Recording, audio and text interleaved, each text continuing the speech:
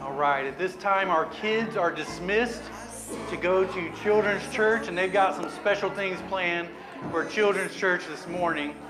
So if you've got elementary age kids, uh, you, can, you can send them on back. All right, kids, be good, listen to your teachers, and learn a lot. And have fun. And have fun. That's one of the things that the kids regularly say is that they, they have fun and they want to come back. And it's so cool. You know, you, I mean, that's a dream come true, right? You want kids to say they had fun and they want to come back learning about Jesus, right? Uh, we hear that a lot uh, from kids who, are, who go for the first time. All right. Well, good morning and welcome. Happy Resurrection Sunday or happy Easter. Uh, he is risen, just as he said, and uh, he is still alive and well.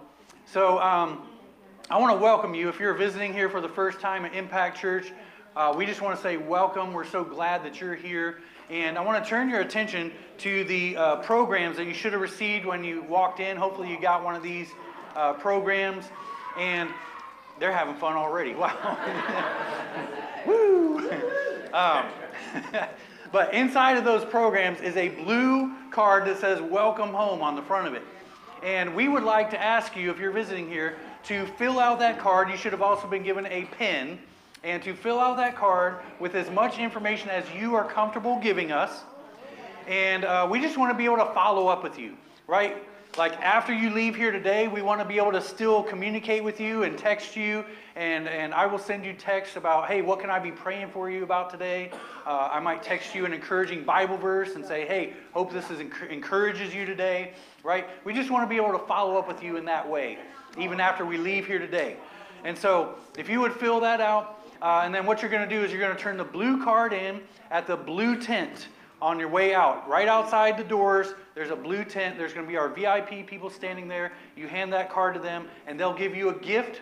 And that gift bag has chocolates and coffee and a Chick fil A gift card. And that's really mean of us because Chick Fil A is not even open on Sunday. So we give you we give you a gift and you can't even use it today. But uh, no, uh, that is ironic, you know. But anyway, all those gifts just for, for us saying thank you for being our guest today. All right? So if you're watching online, if you could uh, comment the town or the city that you're watching from, we'd appreciate it so that we know who's with us today. Otherwise, you just show up as a number, literally, just a number. We don't know who's watching, just number, and, uh, and then we can pray for you. All right? So, uh, I, I, I just want to welcome you. Happy Easter. I hope this is a wonderful, wonderful day for you. I hope being at church today is part of that wonderful day uh, that you have today, uh, that, that this can be a good experience for you. Um, so, I have lived all over the place, uh, north and south. I grew up in the north and then I moved down south. And I moved to Memphis, Tennessee, is one place. And if you've never been to Memphis, then one of the, you need to know one of the big things in Memphis is Memphis style barbecue. They love their barbecue there, specifically pulled pork barbecue sandwiches, right? And so when I first went there, I know some of you are looking like, what do those things have to do with Easter, right? Uh, what does barbecue and coffee and chili have to do with Easter? I'm getting there. So uh, I get there in Memphis, and one of the guys, one of my friends, he takes me to one of the famous restaurants, barbecue restaurants in Memphis called Corky's Barbecue. If you're ever in Memphis, please go to Corky's. Go to the original on Poplar Avenue, not one of the knockoffs. Okay, but uh, so he takes me there, and he goes. Uh, by the way, one, the way we like to eat barbecue here in, in Memphis is we like to put coleslaw on our sandwich. And I was like, hmm, I don't know about that. He's like, hey, I'm just asking you to consider trying it once. And I said, okay, I'll try it once. I bit into it, I loved it, and now I don't want it any other way. That's a true story. I love barbe- barbecue sandwiches with coleslaw on it. Uh, I was at my in-laws' house one day, and they were they had made some coffee, and I saw them pouring something interesting into their coffee. I said, "What are you putting into your coffee?" And they said, "Oh, this is heavy whipping cream. You ever tried it?" I said, "Heavy cream and coffee? No, that sounds weird." And they're like, we want you to consider trying it just once. And so I did, and guess what? I liked it, and now I don't want it any other way. True story. Uh, that's how I like it best. Uh, so then I was at my in laws another day, and they had chili. And they said, Have you ever had chili Southern style? We like to put sour cream in our chili. I said, Really? Sour cream? They said, We want you to consider trying it once, right?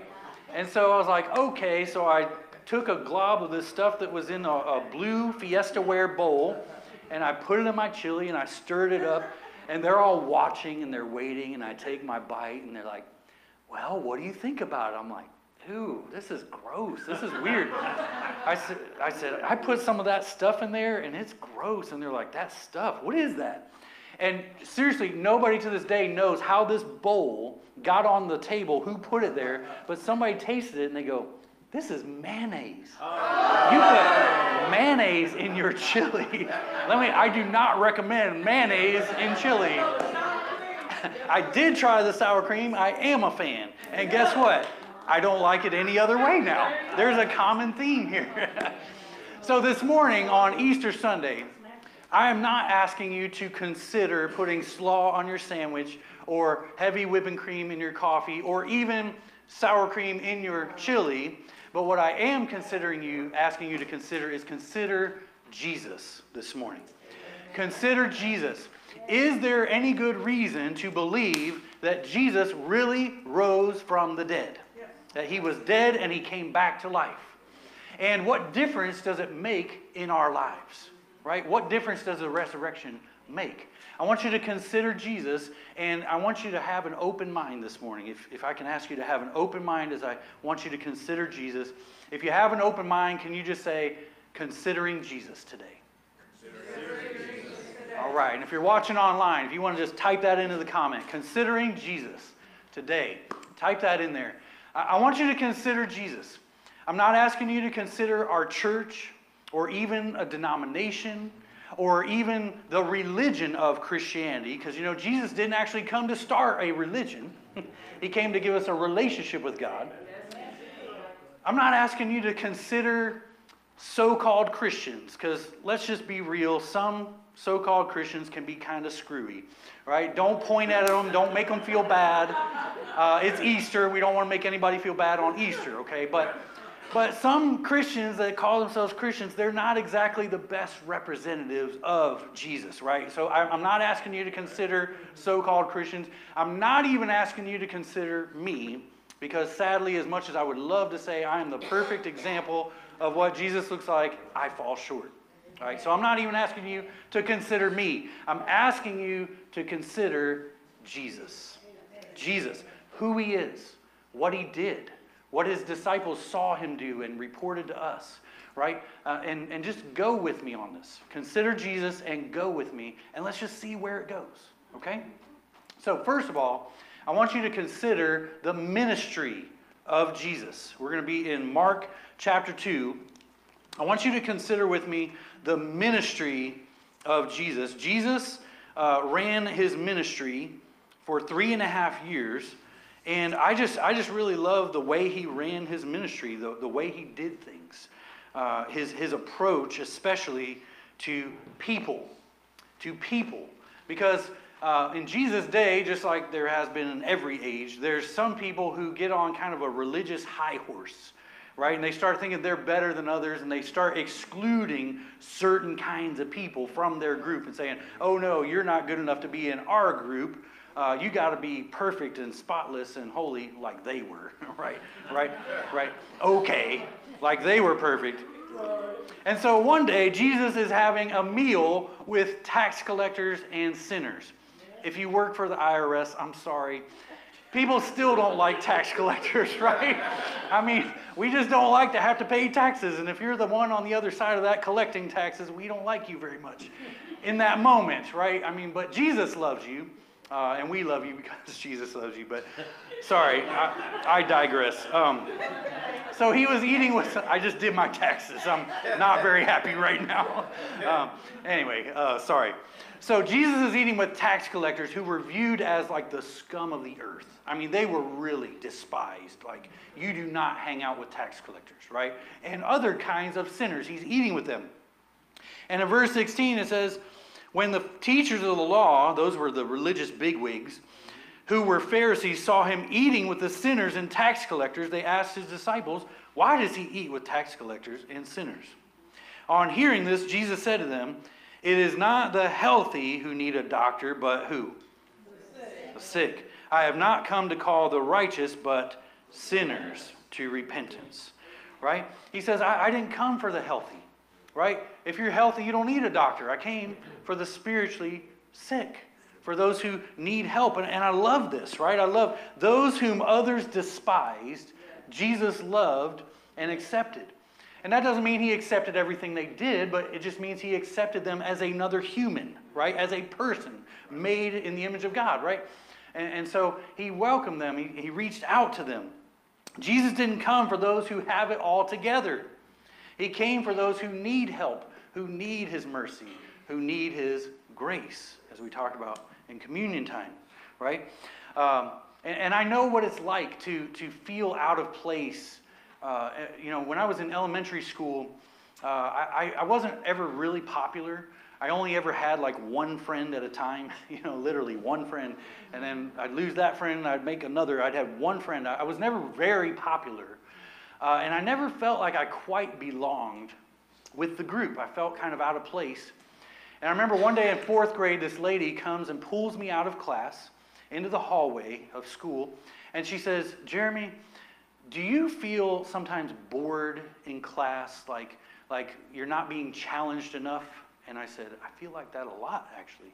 She goes, Well, we've been looking at your test scores and, and some different things you've done, and we want you to come be a part of this group. It's called Rockford Opportunity for Creative Kids, ROCK for short. I said, okay. They said it meets every every Tuesday. You'll spend half the day of your school in this other building with these other creative kids. And I, I got to say, when I joined that group, I finally felt like, okay, here's where I belong you know? And it didn't mean that we weren't weird. They, they might, you might have called us nerds or geeks or dweebs or whatever, right? It wasn't that we weren't weird, but at least we were weird together. You know, it didn't change that we were weird. But I found my people, like, okay, this is maybe why I found felt out of place.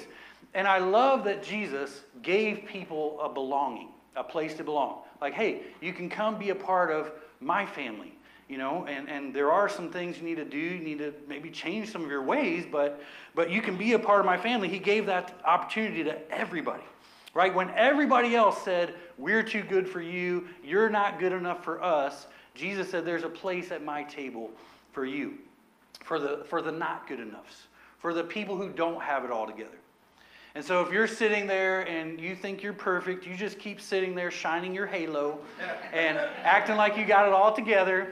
But just know that Jesus came for the rest of us who are imperfect, okay? Jesus came for the imperfect. Also, I want you to consider as part of the ministry of Jesus the miracles of Jesus. Because Jesus did some pretty amazing miracles, right? He opened the eyes of the blind. He unstopped the ears of the deaf. He caused the mute to speak. He caused the lame to get up and walk. He multiplied two little fish and five loaves of bread, and he fed thousands, tens of thousands of people, right? He, uh, he cast demons out of people. He even rose people from the dead. His first miracle, turning water into wine, right? My Southern Baptist friends have a little problem with that one. They're like, I'm pretty sure Jesus turned water into non-alcoholic wine. Yeah, that's it. That's, that's the ticket. Uh, uh, anyway, I digress. Let's move on. But Jesus, he did these amazing miracles. And guess what? God is still in the miracle working, life changing business. And so I asked some of our impact people if I could share some of their testimonies Uh, and uh, I guess Nicole is maybe helping with the kids right now. I don't see her in the room. But she gave me permission to tell you that she, as a teenager, used to practice Satanism and witchcraft. And God delivered her from that and turned her heart to Jesus. And now she loves and serves Jesus. Isn't that amazing? From worshiping Satan to worshiping Jesus. Come on. Uh, Brenda gave me uh, her testimony. God delivered me from living a life of self destruction, a life of living in my own self will, not God's will, uh, not wanting to live anymore, and trying to take my own life on 12 9 2009. On 12 10 2009, God spoke to me and said, My child, you have purpose in life. Amen. And I haven't stopped since that day. Today I live for God. My life has changed for the better. I know my purpose is to help others who struggle as I did and to raise my granddaughter, my beautiful granddaughter and grandson uh, to know Jesus, to be the best I can in everyday life. No matter what I go through, I'm going to get through it because of God and my impact family. So thank you for Brenda sharing that. Some of you have heard, yeah, we can clap for God on that. God is good. God is good. Some of you know my testimony of how I got off track living for God. For eight years, I got off on a track of drug use. The last two years of the eight were crystal meth, and I called out to God, and God saved me without any rehab from crystal meth addiction, which is a miracle. That doesn't just happen. People don't just say, Oh, I think I'll put crystal meth down today uh, without any rehab. Like, that was God. And He immediately called me into ministry, and I've been serving God ever since. So, God is good. God is still in the miracle working business. God is good. God is good. I want you to consider not only the ministry of Jesus, the miracles, I want you to consider the resurrection, because that's what we celebrate today, right? The resurrection of Jesus um, when unbelievable things happen, right? When unbelievable things happen. When I was four or five years old, uh, I was best friends with a guy named Scotty Bruff. I told you I had one good friend throughout my life. At four or five years old, it was Scotty Bruff. And I was hanging out at his house one day, and his grandma was watching us. And Scotty called his grandma Guh. That's just what he called her. I don't know if he couldn't say grandma, so he just Guh, that's what it's shortened to. But uh, Guh was watching us, and they told us, hey guys, don't go into the garage. They had a detached garage from their house. Don't go into the garage. We just remodeled, pulled up a bunch of carpet, and there's some nails sticking up. Don't go in the garage. So you know what we did. we went into the garage like dummies, not, not listening to the adults. And sure enough, I stepped right in the middle of my foot on a nail. Yee, you know, just right in the middle, just beep. And uh, and so I started crying. My friend Scotty ran in to find Guh. Guh, Guh, Jeremy stepped on a nail. Come here, come here, come here. And so I remember she came and she stood, came outside the door of their house, stood at the door on the stoop there, and was looking down at me standing at the doorway of the garage on one foot. And, and, she, and Scotty goes, Guh, Guh, he stepped on a nail. And this, she was an elderly lady, and her shaky elderly voice literally stood there and goes, well, what do you want me to do about it? what do you want me to do about it? Something, anything. Help me. I'm a poor little kid who just stepped on a nail. I'm bleeding out of my foot. Do something, right? Put a band aid on it. Take, take me to the hospital, or at least take me to my parents' house so they could take me to the hospital, right? She just stood there. And I'm like, well, I guess I'm on my own. So I hopped on one foot three blocks back to my house, literally. And finally, my parents took me and you know put some hydrogen peroxide on it and took me to the hospital. But it was unbelievable to me as a little kid for a, a, an adult to say, "What do you want me to do about it?" and just stand there, right? When unbelievable things happen. To some of us, the story of Jesus dying and then coming back to life sounds unbelievable doesn't it? It's like, what? That doesn't happen, right? Science can't back that up. That can't be explained by science. What are you talking about? But I want to tell you today the resurrection, there are good reasons to believe Jesus really did raise from the dead. Uh, he rose from the dead. And, you know, this thing about the resurrection really is huge. It's a big deal. It's one of the pivotal things. If you can get past this, if you can believe this part, uh, it'll change everything for you. There was a guy named Josh McDowell. He was not a Christian. And in fact, he went out to disprove Christianity. He was going to prove it wrong. Okay? And he came back after trying, after researching it and trying to disprove it, he came back and he said, I'm now a believer. And you want to know why? He said, Because I could not disprove the resurrection. That one thing. He said, I can't, I can't prove it wrong. I, I believe now. And so he's written all kinds of books. He's a believer. The resurrection is key. This is what God's word declares God became a human in the form of Jesus. Jesus lived a perfect life. He died on the cross, a horrible death for our sins. We're the ones who deserve that death, but he took it for us. And then, just as Jesus himself predicted, he said, I lay down my life, and three days later I take it back up again. The women go to the tomb, and they find it three days later empty. Empty, right? Just as he said he would. And so, why should we believe in the resurrection? If you're taking notes, uh, and I really encourage you to take notes, we actually have a section right here uh, on the back of your program. But I want to tell you two main reasons why you, sh- you can believe in the resurrection. Okay, the first one is the empty tomb. Empty tomb. That's number one. I'm going to read from Matthew 28, which is just a page back in, in this Bible. Uh, Matthew 28, and this is kind of a famous story in verse 5, where it says, The angel said to the women, Do not be afraid, for I know that you are looking for Jesus, who was crucified. He is not here, he has risen just as he said. He predicted it before it even happened. Come and see the place where he lay. Then go quickly and tell his disciples, He has risen from the dead and is going ahead of you into Galilee. Right? So then, skip to verse 11. While the women were on their way, some of the guards went into the city and reported to the chief priests everything that had happened. When the chief priests had met with the elders and devised a plan, they gave the soldiers a large sum of money, telling them, You are to say, his disciples came during the night and stole him away while we were asleep. Now, there's a theory, there's a story if I ever heard one, while we were asleep. If this report gets to the governor, we will satisfy him and keep you out of trouble. So the soldiers took the money and did as they were instructed. And watch this. And this story has been widely circulated among the Jews to this very day. Right? That was the story that they were going with. The empty tomb. I want to point out one thing that might be obvious to you, but just in case it's not, I want to, I want to make it clear. The fact that they had to come up with a story tells us of how the body left, tells us what? The tomb definitely was empty. If it wasn't empty, all they had to do was show me the body, right? Jerry Maguire, show me the body. Um, but they couldn't do it, right? Uh, You're telling me the Roman officials and the authorities and how powerful that government was and all the soldiers they had at their disposal, they couldn't track down the body? They should have been able to with all that soldier and all that power, right? But they couldn't find the body. They could have squashed this whole Jesus story, just show the body. But the fact they had to come up with a story tells us the tomb was definitely empty. And by the way, this really just doesn't make sense. This whole story, come on now.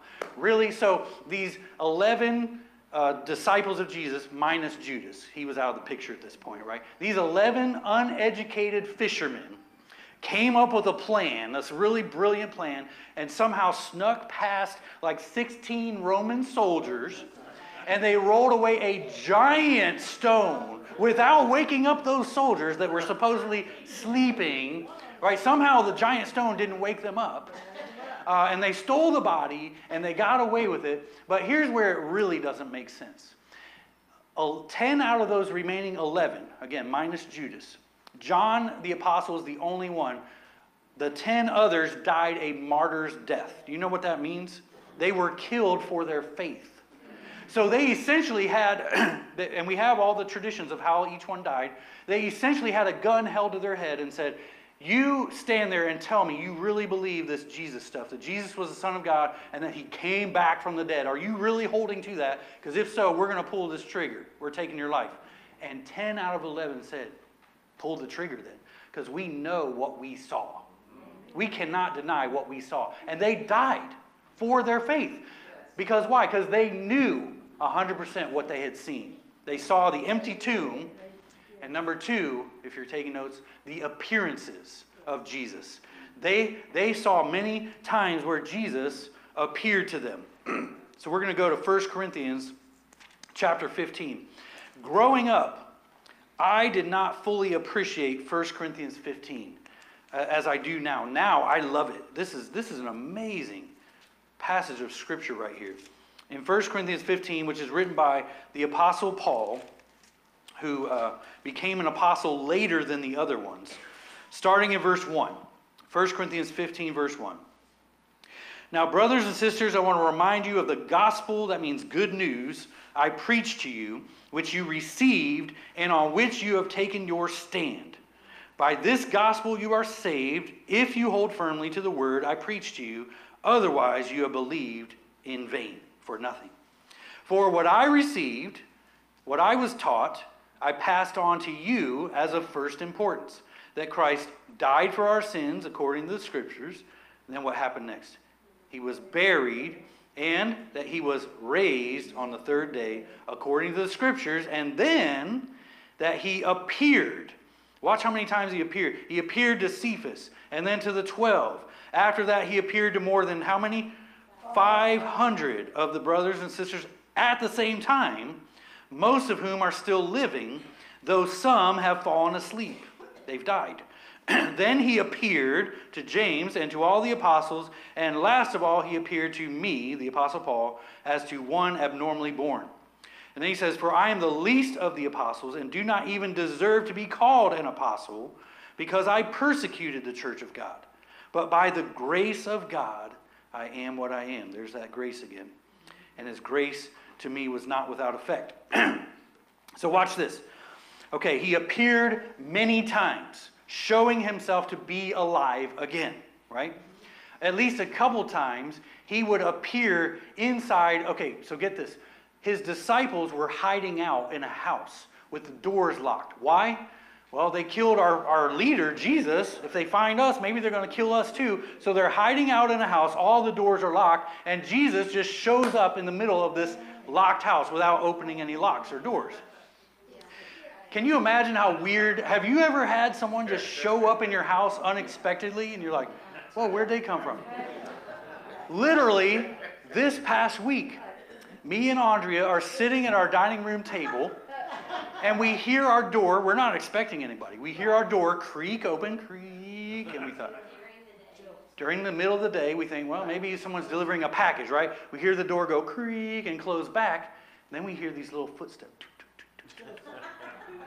So we get up, we look, and, and he had turned the corner and gone into the living room. Our next door neighbor's little boy, he's like three or four, plops down on the sofa and gets the remote to the TV.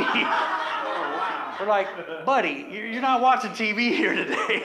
You need to go home. But it was like, what's going on here, right? So Jesus appears in the middle of a locked room. And he says, It is me. I'm alive again, right? He shows the scars. He's like, feel where they stuck me with the spear, where they nailed my hands, you know. Uh, and and then they, they think, what, what do you think they thought when Jesus appeared? He's a ghost, right? I mean, that's what I would have thought. Like, it, we're looking at a ghost. He, we saw this guy die. He must be a ghost. So what does he do? He says, You got anything to eat? And they were like, We sure do. We got some Memphis barbecue. no, he didn't say that. No, he did not say that. I'm sorry. Uh, no, he said, well, we, they said, we got some broiled fish, right? We got some fish. And he goes, okay, here, let me eat. Why is he eating? To show them, I'm not a ghost. I'm eating and digesting food. I'm not a ghost. I'm really a body back alive, right? Not just a figment of your imagination. Okay? Um, so he ate food, and then I love the one where it says he appeared to more than 500 of the brothers at the same time. Now, what's the point of that? Did that many people just imagine that they saw Jesus, like an Elvis sighting or something? No. 500 people didn't hallucinate or just imagine they saw Jesus. They know what they saw. And then he adds, and by the way, most of whom are still living. What is he saying? Go ask them.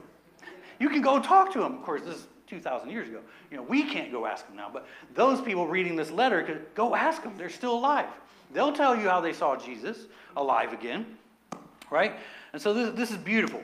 Uh, it turned, these appearances turned two, at least two skeptics to becoming main leaders of the church. James, the half brother of Jesus, uh, there's actually scriptures where say his family thought he was crazy as he was doing his ministry. They're like, he's out of his mind. We we don't know what he's talking about, this whole Son of God thing. He's crazy. James then becomes a believer. What changed? He saw the risen Jesus. That's what changed. The guy who wrote this letter, the Apostle Paul, he used to be called Saul. As he said, he used to persecute the church. He would round up Christians, he would throw them in jail for believing in Jesus, and he was accomplice to murder as he stood and held the coats while other people stoned and threw rocks and killed Christians to death. He used to be an accomplice to murder, and now he's one of the biggest spokesmen of Jesus. What happened? He encountered the risen Lord.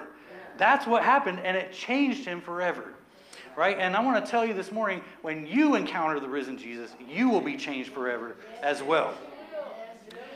I want, to, I want you to consider the message of Jesus. The message of Jesus. And so I got this message on screen. It's 2 Corinthians 5, verse 16, in the New International Reader's Version, which is actually a children's version. But I just, I loved how they broke it down. And so I wanted to read uh, this scripture, 2 Corinthians 5.16, the message of Jesus. So from now on, we don't look at anyone the way the world does. At one time, we looked at Christ that way, but we don't anymore. When anyone lives in Christ, the new creation has come. The old is gone, the new is here. Come on, somebody. All this is from God. He brought us back to Himself through Christ's death on the cross. And He has given us the task of bringing others back to Him through Christ. God was bringing the world back to himself through Christ. He did not hold people's sins against them. God has trusted us with the message that people may be brought back to him. So we are Christ's official messengers. It is as if God were making his appeal through us. Next screen. One more. There we go. Here is what Christ wants us to beg you to do come back to God. I love that part. He wants us to beg you to come back to God. Christ didn't have any sin, but God made him, made him become sin for us. So we can be made right with God because of what Christ has done for us. So here's the good news, guys. You can be made into a new person. You can be made right with God. You can be forgiven of your sins. Isn't that good news? That's a good message, right? And it's true. I want you to know you are not crazy for believing in the resurrection. I want you to know there are good reasons for believing Jesus really did come back from the dead. And I want you to know that when you encounter the risen Lord, you will be changed too. Whether you've never given Jesus a chance or if you've been a Christian for a long time, but it's just been a while since you felt a touch from God, right? he can touch you and He can change you. Some of you in this room, have been drifting along at the same level of spirituality for a while. And God is ready to take you to the next level, but He's waiting on you. See, God has taken the first step, but we have to take the step back to Him. He's already taken all the first steps to say, hey, I want a relationship with you, but you've got to take a step now. You've got to say yes, right? He wants you closer to Him, but you've got to take that step. Isn't it time this Easter? What better day? to take that step back to God, if you're coming back to Him, or to taking that step to saying, I'm going to get closer to God, right? I want to be even closer to Him starting today from here on out, right? Some of you, you know you should get some things out of your life, and you mean to, and you say, Oh, I'm going to get that out of my life, that thing I shouldn't have someday, but you haven't done it yet right? Some of you like, I know I should pray to God more than I am, but, and I'm going to someday. I'm going to start praying more someday, but I'm going to read the Bible more someday. I know I should be reading this and getting to know God more, and I'm going to, I'm going to get in that habit someday, but, right? I'm going, I know I'm too busy and I've got, uh, my, my busy life is crowding out my time with God, and I'm going to clear some things out someday, but Today is the day, guys. It's, it's time to stop putting it off and to say yes to Jesus today. Don't put off any longer, right? Whatever that thing is you've been holding back and it's time to do, let's do it, right? Jesus is inviting you. Let's go. It's time. Go deeper into Jesus. It's time to ask God to change you. Say, Lord, I don't want to be this way anymore. I want to live for you. Revive me and put a fire in me. Right? I want to know Jesus more than I've ever known him before. And it doesn't matter where you are with the Lord right now, if you genuinely from the heart say to God, I want to know you more. Would you show yourself to me? He will do it. I believe when we genuinely ask God from the heart, say, God, reveal yourself to me, He will. He will teach you, He will show you, right? But you've got to want it. And so in this moment, God is calling you. God is calling you. Would you pray with me? Father God, in this room, there are all kinds of people from many different walks. Maybe people who have never known Jesus. Maybe people who uh, have known Jesus and took steps to follow him years ago, but they've strayed from him. And it's been many years and they're just now coming back. Uh, maybe they've been a Christian for a while, but they've been stuck at that same level of spirituality for a while. And you're ready to take them to the next level. God, wherever we are, God, maybe maybe we just need to go deeper. Maybe we're doing good. We have a good, solid relationship with you, but we, we need to go deeper into you, God. Take us deeper. Take her. Take us. Father, we love you. I pray that you just reach into our lives right now. And if there's anyone who is genuinely praying and calling on you right now and saying, God, reveal yourself to me, that you would bless them and you would show up. Father, make yourself real to us in this room right now. Know you're going to do it, God. We know you're doing it right now. You are moving in this place. We thank you for your Holy Spirit that moves in our hearts. God, convict us of sin if we need convicted of sin. Convict us of our, our stagnant relationship with you and help us to take that step. And I love what I read somewhere about the prodigal son. It doesn't matter how many steps you took away from Jesus, the turn back to God is only one step. It's only one step. So, God, help us to take that one step back to you, God. We thank you for your grace that says, There's a place at my table for you, there's a place in my family for you. So, God, help them to take that one step. God, uh, we're, you know, we're going to open up this stage at the front here, this altar, and say, if you need to come to the altar, and I just pray people would come. And they would just kneel down and they would spend some time with you and just getting right with you, God. Repenting in their hearts from, from whatever sin they may have done or their stagnant relationship, God. Uh, I pray that people would come to the back and see me as I go to the back and just say, hey, what do I need to do to follow this Jesus? right? Like, do I need to believe in him? Or what does this repenting of my sin thing mean? Tell me about that. What is this baptism thing about? Do I need to be baptized? Like, if they need to find their next step, God, I pray that they would come to me in the back.